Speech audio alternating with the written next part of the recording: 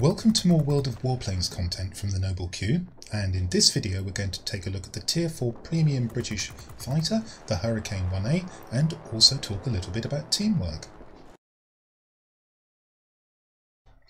Here's the Hurricane 1A on the tarmac outside my hangar, and of course this is one of the iconic aircraft in the game from the Battle of Britain. And I'm making this video in response to a viewer request, but I'm sorry, I've lost the note of who it was who requested it, so if it was you, I do apologise. Thank you for making the request and this video is for you. The next section of the video will be the customary statistics of the aircraft, but if you don't want to look at a spreadsheet then use the links below the video to skip ahead to another section. First, let's go over how this spreadsheet works very quickly. Um, Columns C and D contain the statistics for the Hurricane 1A and all other Tier 4 fighters occupy two columns off to the right as you can see. The characteristics you can see in the hangar are shown down the left and the statistics for each of the aircraft are in the body of the spreadsheet here. Where there's green, it's best in class, light blue is second best in class, purple is third best in class, and the gold colour indicates that the aircraft is a premium or reward aircraft. If we just drop below, the logic is reversed and we're looking at the worst in class, which is the dark, most solid red, and then a slightly later, lighter shade of red is second worst in class, and the lightest shade of red of all is third worst in class. Okay, so let's look at the statistics. Starting at the top with gun armament, immediately it looks like very good news. The rating for the armament is 11, which is best in class, and it's shared with the uh, tech tree British fighter, the Bristol 146. Now, this may surprise experienced players of the game, and the reason being is that it's not just about DPS, it's also about range. And the range on these guns is only 1444 feet.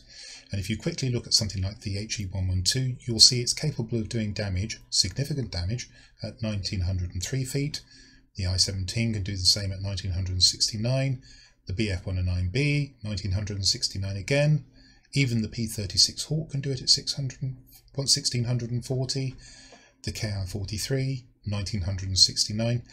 I think you're beginning to get the picture. This is a high DPS machine, but you have to be up fairly close and personal in order to exploit the DPS, and that's a drawback. If we look at the survivability, uh, it's also good news. This is quite a rugged fighter. It's got approaching American levels of ruggedness. If we look over at the American aircraft, you can see that uh, the best in class is actually the prototype Corsair, uh, which is rated at 6. But a similar sort of survivability as the Model 81A. Now, there is one slight caveat to that. The fire resistance is not appalling, in fact, it's actually shown as third best in class in here, but you'll see it's also second worst in class when we go down, go down below. Um, the fire resistance is not up to American standards, so bear that in mind. After that, the news gets progressively less good. The airspeed is pretty average, there's nothing to um, be excited by here. The boost duration, there are only three values for fighters uh, at tier 4, that's 10, and there's only one aircraft with 10 seconds. It's the 2PA over here. 8 seconds, which the Hurricane has, and then 6 seconds, typically for the turn fighters such as the Bristol, the Japanese aircraft. Maneuverability is distinctly average. This is not a turn fighter. In fact, it looks much more like a, an altitude fighter, a high energy fighter. For instance, the Bristol 146 easily can outturn it, so can the HE112. The I-17 certainly will, and as you can now probably guess, the Japanese aircraft are vastly more uh, manoeuvrable. And in fact, there's a, another British premium uh, biplane, the Phantom, which is getting on for Japanese levels of manoeuvrability as well. So you can see that the Hurricane is uh, lagging far behind many of the fighters it's going to encounter. Again, it really does look like uh, American levels of manoeuvrability, but again, there's a catch. And the catch here is in the altitude performance. The American aircraft, by and large, have very good altitude performance, which compensates for their lack of manoeuvrability. They also have high speed, which the Hurricane doesn't have, and that allows them to employ high energy ta tactics, one of which is to be at high altitude and dive down on an aircraft and then boost away having delivered an attack. This is not going to happen in the Hurricane 1A. As you can see, the altitude performance is again pretty average. The BF-109B actually has the highest altitude performance. And as you can see, the light blues and the purples are occurring with the American aircraft. If we quickly drop down, we've already talked about the fire resistance. Um, we can ignore the boost figure but as I said, there's only three of those. Manoeuvrability, um, let's just note that the uh, roll rate is really poor on the Hurricane. You're not going to roll away from aircraft because it has the worst in class roll rate. And also, its characteristics degrade quite quickly as well. There's only 140 miles an hour range in which its manoeuvrability is not compromised. So that makes it a little bit tough as well. And the last thing to notice is that it's got very nearly the worst climb rate in the end of the Tier 4 fighters. And in fact, as we go along here, the only one that's worse is the somewhat similar C714. Um, the C714 has far worse gunnery though, so in that sense the Hurricane's better. So, all of that tends to add up to a fairly average aircraft that just happens to have really good firepower, albeit at pretty short range, and reasonable survivability, but in this game, World of Warplanes, that doesn't necessarily count for as much as it would do in, say, World of Tanks, where a good survivability figure, a good slug of hit points, might allow you to take that one extra shot before disappearing around a corner and hiding. Um, in this game, basically, you may have, for instance, 60 more hit points than the Bristol 146, but if something gets on your tail and you can't get away from it, either using speed or maneuverability, they're going to be disappearing fairly quickly. Therefore, the Hurricane 1A, in my opinion, is best flown as a gun platform. You want to go into sectors and try and uh, whittle down the enemy as quickly as possible with your firepower before they can turn their attention to you. And to do that, you need to fly as part of a group because if you're isolated, then of course the enemy aircraft will turn on you because they've got nothing else to do. And in the replay coming up, we're going to see a very good example of teamwork paying handsome dividends. Let's show you how I've set my Hurricane 1A up. Um, it's specialised, therefore I've got all of the equipment and consumable slots available to me, and let's see how I've filled them. And I've opted to improve the accuracy of uh, the guns. Now, I didn't talk about this in the section on the numbers, but the dispersion angle on the guns is about 0.8, which means roughly going to be something between one and a half and two feet circle at 100 foot range. Uh, and of course that's true of meters as well. It'll be a, a one and a half to two meter circle uh, where your bullets uh, um, fly uh, at 100 meters. That's typical of machine guns. The good thing is you've got a 20 second burst, which is a good long burst, as with all machine guns. So once you start firing at something, once it's within range, you're going to pull it down and not have to worry about your guns overheating. Nonetheless, I've sought to improve the accuracy of the guns, and then I've opted to go for a manoeuvrability build. Um, I don't think there's much point in trying to build this for speed. You might, it's uh, uh something you may wish to try, but I don't think you're going to get this fast enough to compete with uh, aircraft um, such as the BF-109B or the American aircraft. And what is for sure, you're not going to be able to use that speed at altitude anyway to compete with those aircraft. So I've opted for the lightweight wing frame and lightweight power, unit in order to increase my manoeuvrability. We'll talk about increasing that even further in a moment when we come on to the pilot. But for consumables, as it's a single seat fighter, I've put on a fire extinguisher, pneumatic control assist to help me in dogfights, Engine cooling for an extra 10 seconds of burst, so if I have 8 seconds to begin with, I'll get 18 if I deploy this. And then universal ammunition, of course I don't use gold. Now as far as pilot skills are concerned, um, this is actually the dedicated pilot for the Hurricane 1A that I originally started working on back in 2018. But this is a premium aircraft, so you should use it as a crew trainer. And you'll see the manoeuvrability figure go up in a moment when I put in, for example, my highly trained but still needing more training. Spitfire 14 pilot. And you saw that manoeuvrability figure possibly shoot up by another um, 5. So this manoeuvrability figure has become adequate, but of course it's still lagging way behind the true turn fighters. If you get into a turn fight with one of those, you will lose. and it's difficult for you to get away from them because your speed is fairly poor. So this comes back to what I said in the numbers section. If you happen to watch that, you'll know this already.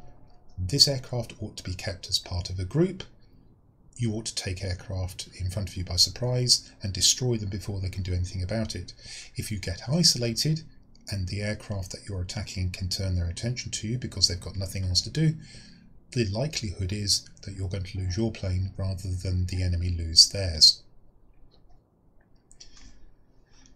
Just a point on skills. If you're building a new pilot, I would probably go for aerodynamics um, expert first. You may want to put on the engine guru and the marksman one skills next, or you could consider acrobatics, um, sorry, aerobatics expert. Right, I think that's enough about the aircraft. So let's go and have a look and see how it performs in battle. Here we are on the Scorching Sands map. It's the invasion variant with five sectors laid out in the five spots of a die pattern. There's a central garrison, two flanking garrisons, and two flanking air bases. Now, strategically, the air bases are most important because they have special characteristics. Not only do they convey the three resources every five seconds, but they can also be selected as the spawn point for a new aircraft. You can select a different aircraft of the same tier if you've been destroyed, or you can uh, entirely repair your aircraft. The garrisons just convey the standard three resources every five seconds. The central one is more important than the other two because it allows easy access to all the other sectors. However, as I've already mentioned in both the numbers section and in the hangar, the tactics on this map are not necessarily determined by uh, what's strategically important. If your team decides that garrisons win games, you will have to go with your team with the Hurricane 1A because if you get isolated attacking an airbase, which in theory you should go for because that's the most important sector on the map, then you will lose your aircraft and you will do your team no good at all. So tactically, in this particular instance, stay with your team. Talking of the team, we have Evil Bird 1955, and I want you to keep an eye on him throughout this forthcoming replay in his heavy BF110B. We are top tier, I should have noted. We have three tier 3s, a Hawk 75M, an F3F, and FW57 heavy.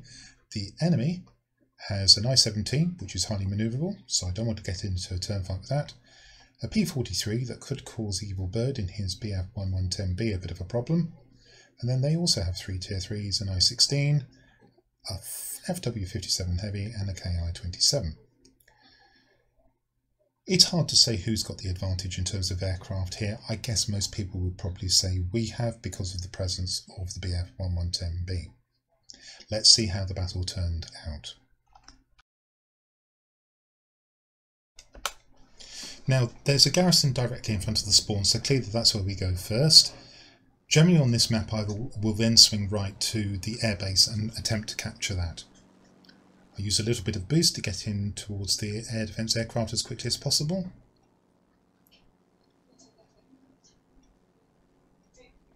One chooses to fly below me and with a very short burst I remove over half its health. I then swing round to address another one, and once I get the guns to connect, you can see that I strip the health away extremely quickly. Now I want you to take a look at the airfield. You can see there's a red circle flashing above it, and this is Evil Bird. He's indicating where he's going and what he's going to attack. He's used the F2 key for that, and I've replied with the F5 key indicating that I'm going to join him in attacking that sector. This is a feature of this entire game. Evil Bird shows where he's going at all stages in the battle, and I link up with him and it works, as you will see. If you don't know those command keys, F2 for highlighting a sector, F4 for highlighting an aircraft you have in your reticle, an enemy aircraft that is, and F5 for uh, affirmative. Do learn those commands, they're extremely useful and they're imperative in teamwork if you're not part of a flight and can't actually speak to somebody through something like Discord or TeamSpeak I quickly strip down an air defence aircraft. An Evil Bird who just flew below me has already done lots of work here. He's indicating that we should go to the central sector, and I agree with that and tell him that I'm going to do so as well. So we've already got two sectors in very short order.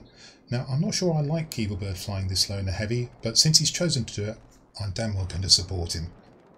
I find the I-17. Fortunately he's not paying attention to me, which is exactly the situation you need in this aircraft, and I'm able to knock him out very quickly indeed.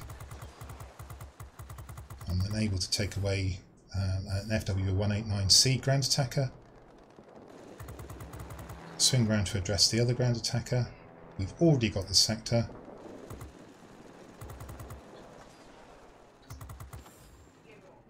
Get the ground attacker.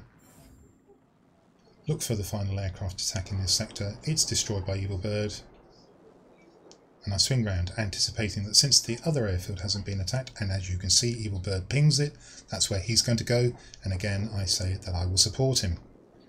And off we go.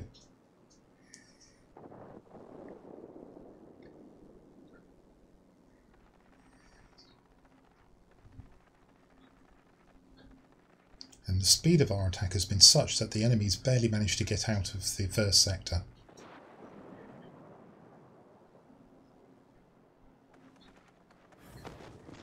I pick up the I-16.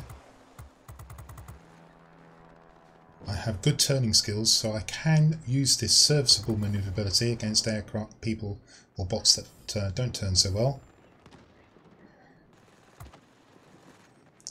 An air defense aircraft falls, comes in front of my guns, the second one does.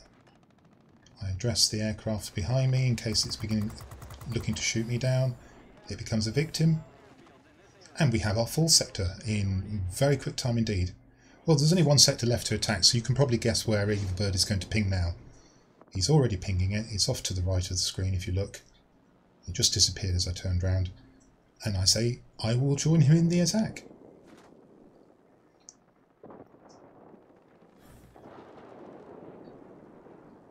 Evil Bird deals a crushing blow to the KI-27.